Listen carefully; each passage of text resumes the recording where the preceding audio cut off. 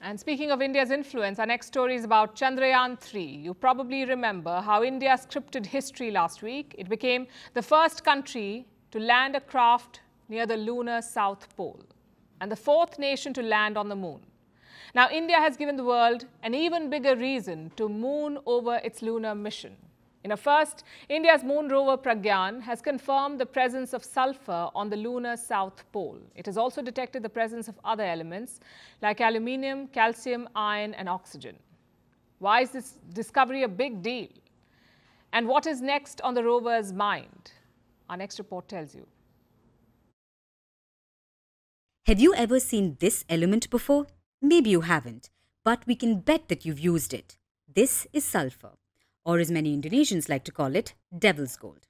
Yes, they've nicknamed this element, partly due to its yellow color, but also because it's a valuable commodity. Because an Indonesian volcano named Kawah Ijen holds sulfur in large quantities. As the sulfur deposits catch light, they make the volcano come alive with blue fire. This invites a throng of tourists and employment for locals who use it to make a wide range of goods, like car batteries, fertilizer, bleach, and cement detergents. Sulfur is also used in oil refining, water processing, and mineral extraction. Sulfur usually originates in volcanic activities. And do you know what else has volcanoes?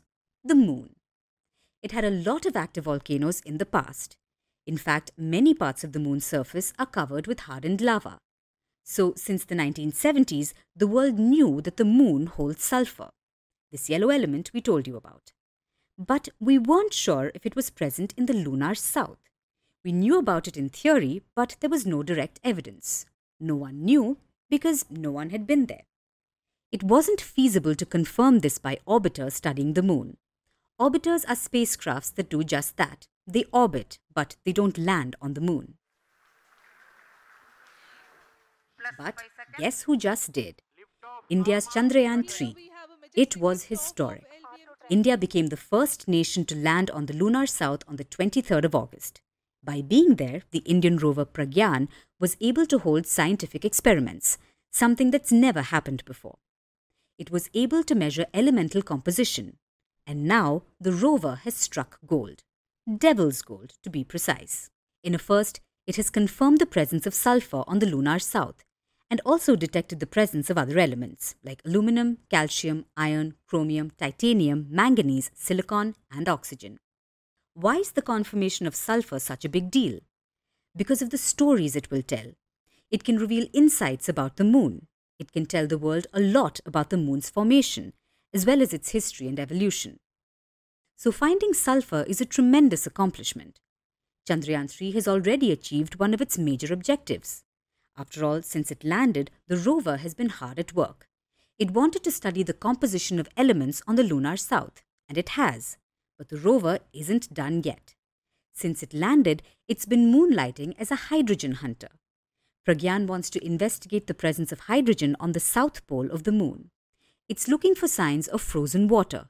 If found, it will be a game changer, one of the greatest discoveries in space. Why is that? Simply put, if you want to send astronauts to the moon, a place with water would be a good spot. It could also open doors to life on the moon. Humans need water to survive. Water can be used to procure oxygen, which will provide air to breathe. Water can also be used to make rocket fuel. It will help people come back to Earth or go somewhere else in the solar system. The opportunities are endless. There's no way to water down its importance. As of right now, no one knows if the rover will be successful in finding frozen water. But on Earth, we continue to look at the bigger picture. And the fact is, whatever Pragyan does up there will be historic down here.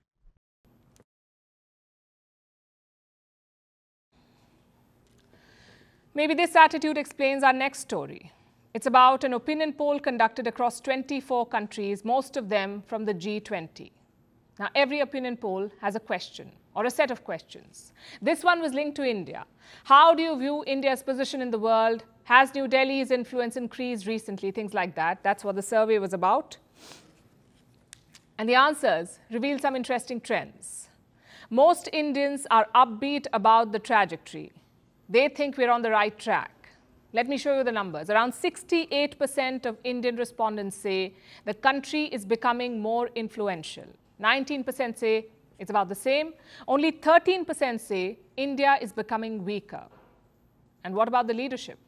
Around 79% Indians have a favorable view of the Prime Minister. Around 55% have very favorable views. They believe Prime Minister Modi is taking the right calls at the world stage. These numbers are very important, especially coming at this time. India is all set to host the G20 Leaders' Summit. There is more global interest in India's policy and positions. In that context, public opinion is important. Do the Indian people support and approve of the current direction? Going by this survey, they do. And what about people outside India? What do they have to say? By and large, India is seen favorably. Around 46 percent of respondents held this view. They saw India positively, 46%, around 34% held unfavorable views of India, and the rest were undecided. Now, it's hard to judge public perceptions of a country, especially a country like India. We are not part of any treaty alliance. We don't have a history of intervening abroad, so public perception can be tricky. This survey, for example, studied 30,000 people. It's a reasonable size for an opinion poll. But remember, the G20 is much bigger. Its total population is almost 4.7 billion people. Even within that, some countries were not polled, like Russia, China, and Turkey. Their responses could have affected these numbers. In a good way or bad? Well, that's up for debate. A second question in the survey was about India's influence. Has India become more influential or not? Like I said, around 68% of Indians said yes, and elsewhere, only 28%.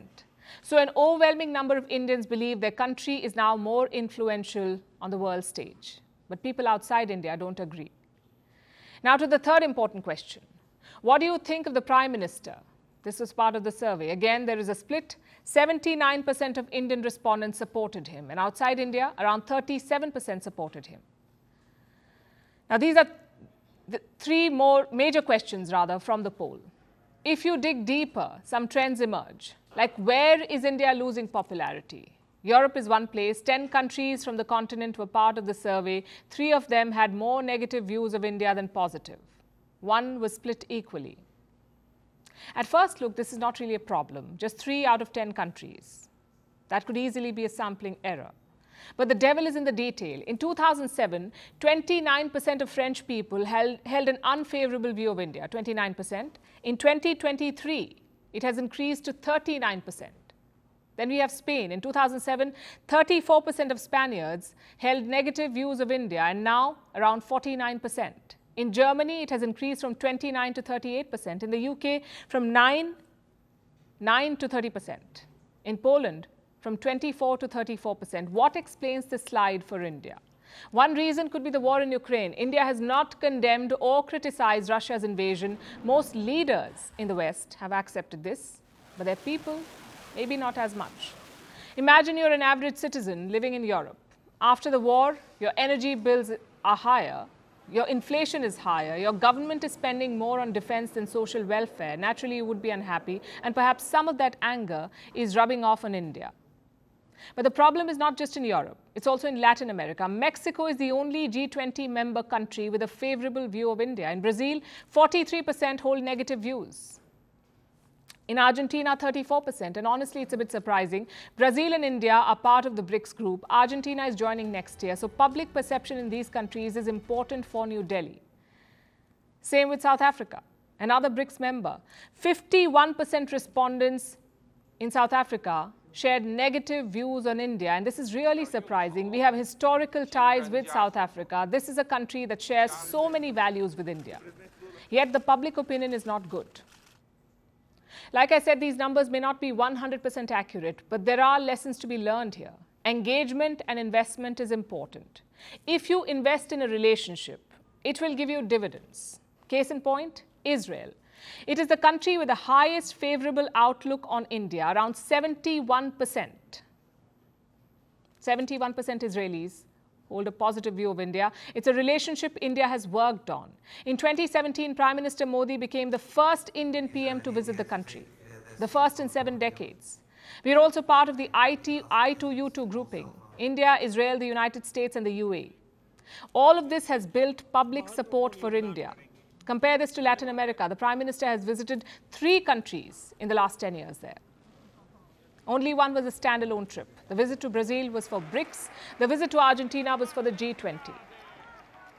India's diplomatic presence in the region is also limited. Just 11 missions had been opened from 1947 to 2019. That's simply not enough. You need to be visible for people to like or dislike you. And that's probably the biggest takeaway from this poll because around 16% of respondents the world over had no opinion on India, neither positive nor negative. And this needs to change. A positive public perception can help build better ties. In the US, for example, the positive view on India is 51%. Hence, there is bipartisan support for India. So don't think people don't matter in foreign policy.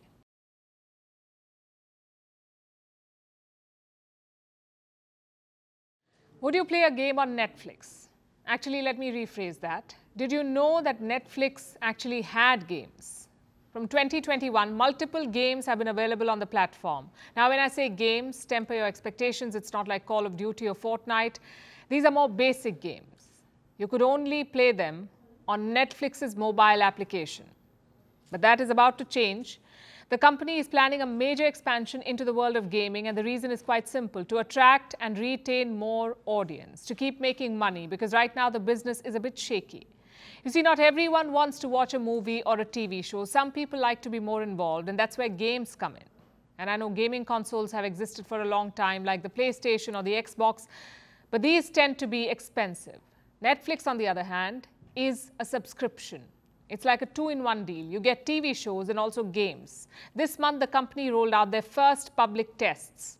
A few subscribers in the US and Canada got access to Netflix games on TV. These are cloud streaming games. And what does that mean? It means you don't have to download the game. The files will remain in some data center far away. You can stream the game online like you do with any content on OTT. You don't have to download it to consume it. Other big players have tried cloud gaming before. Google had something called Stadia. It was so bad, they ended up canceling it. Amazon had something called Luna. Again, not a big success. So what makes Netflix think that they can succeed where Google and Amazon failed? Two things. One, Netflix has some good exclusive properties. I'm talking about shows. Cult favorites like Stranger Things or Queen's Gambit. Imagine creating a game based on these shows or linking the game to storylines on the show. Would you play it then? Maybe the die-hard fans will. In fact, Netflix is already making a show based on the Queen's Gambit. It's a chess simulator game. The second factor is necessity because Netflix does not have an option. Look at their recent performance. The platform added around 6 million subscribers in the last quarter. Very impressive. But the profits are not matching up. Netflix posted $1.5 billion in profits which is just 2.7% more than the year before. For an industry leader, that's not enough.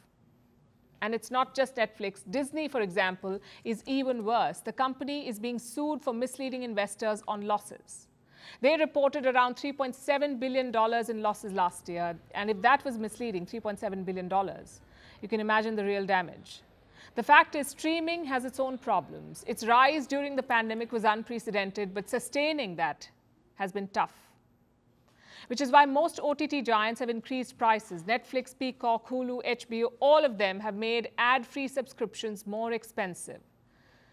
But there is a downside to this strategy. You could drive people away from the platform. So streaming giants need to diversify. They can't keep running shows into double-digit seasons. You need something more. Enter games. Netflix already offers around 70 of them on mobile apps, 70 games, 7-0. But like I said, these are basic ones. They won't attract the hardcore gamers.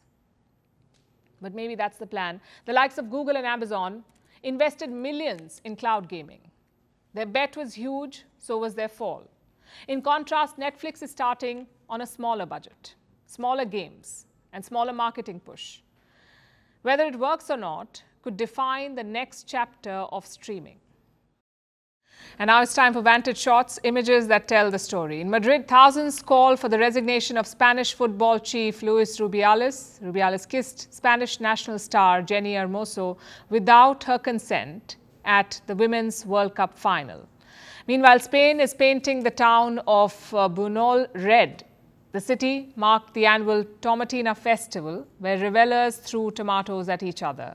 And the month of August began with a bright supermoon. It is ending the same way as another one lights up the night sky tonight. This is the last super blue moon until 2037. So catch it while you can. And finally, we're taking you back in history. On this day in 1967, the US Senate confirmed the appointment of Thurgood Marshall to the US Supreme Court. He became the first African American justice in the top court. We're leaving you with that. Thanks very much for watching. We'll see you tomorrow.